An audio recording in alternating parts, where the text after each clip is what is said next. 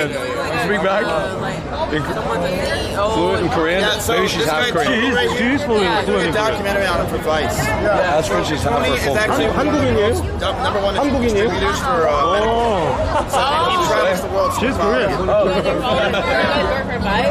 Uh, he works for Vice. You work for Uh, Vice. and he works for Vice. And you work for Vice. I'm an investigative reporter. He's a reporter, I'm a director, and that's my lead producer. Okay. Well, it's uh, it's definitely really nice to meet you guys. Honestly, here in Korea, it's really hard to find establishments that are going to uh, let in True. foreigners. Cool, you have to go to places Yeah. that are like I'm just hip saying, hop